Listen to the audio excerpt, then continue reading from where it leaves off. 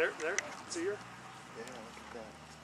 She's excavating, which means she's ready. This we do up here, but probably not. She may just be guarding a nest. But the way that this male is paired up with her, uh-huh. she's probably still got some eggs.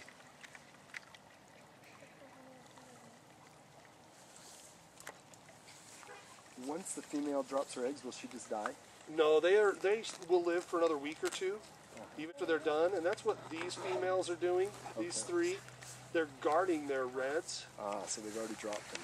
They probably have already dropped them. When you see that white on the tail, Uh-huh. she's pretty close to dying. You can see she's starting to develop it. But this female here is clear, Yeah. and so she's probably all right. You can see that other female just chase that one off. Yeah.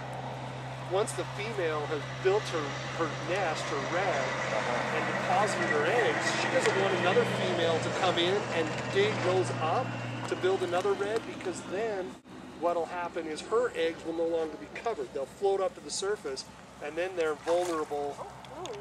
Yeah. She doesn't protecting them. She's protecting them. She knows that this other female has still got eggs and is going to excavate. And so she doesn't want her eggs that are buried to get exposed because then all the little fish in here will.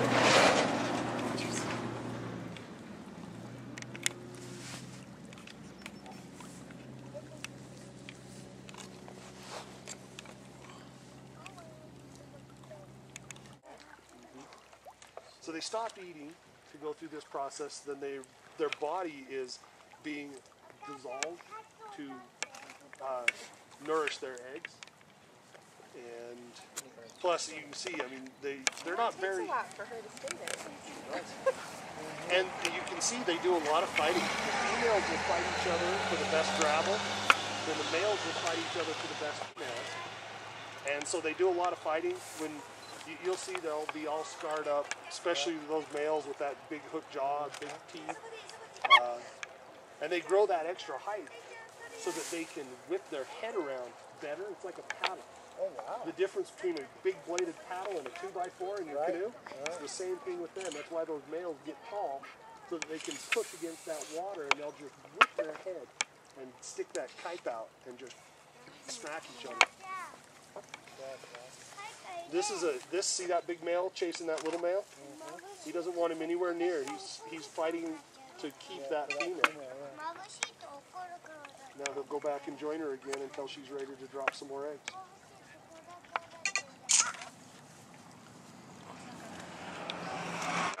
Nice big male.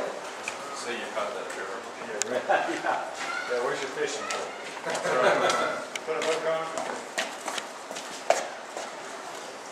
They're very camera shy.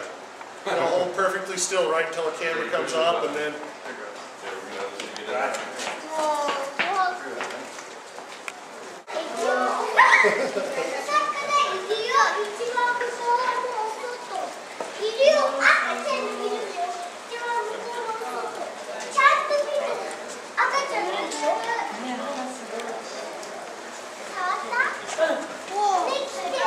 So you get that. Did you touch him then? Welcome. Go ahead, you touch him. Hey, go ahead and touch it. Anymore? Look at this cheek on that one. Touch your head. I need over. Oh, Hey, he wants to fight you. I know you did. These little cutthroats in here. Yeah. I did. So the small ones are the females usually? No, no, you'll get large females. You'll even get little guys like this. This is called a precocial male. He's only two years old. Uh-huh. And they actually do something kind of cool. It's called a sneaking behavior. And so he's too small to fight the big males for females. So he'll sit down below a big male and female that are paired up. And he'll see when the female's about to release her eggs. He'll come darting up, release his milt before the big guy can beat him up and throw him away. And so that's why they call him precocial. Now, do the little ones die after Yeah, once, once they've started this process, they're, they're, get, they get their milk out? they, they, doesn't matter how old they are, they're dead. They're gone. They're, yeah. They're dying They're just they up. Yep. That's why I call them, you know, zombies, because they don't know it, but they're all dead.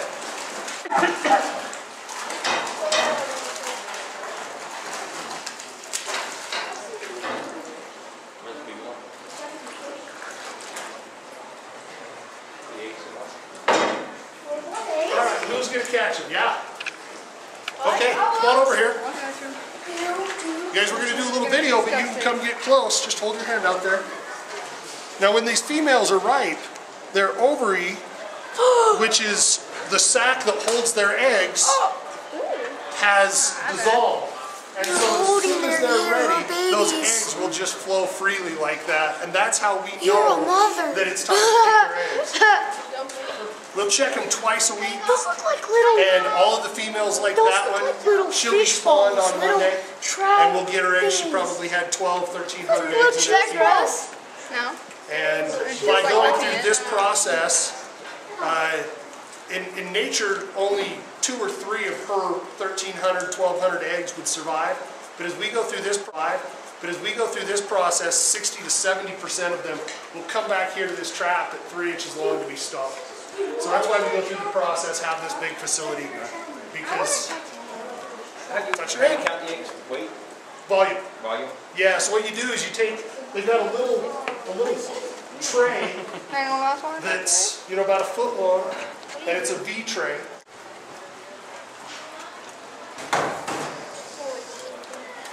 Okay, drop it in. Those eggs are all fertilized right now.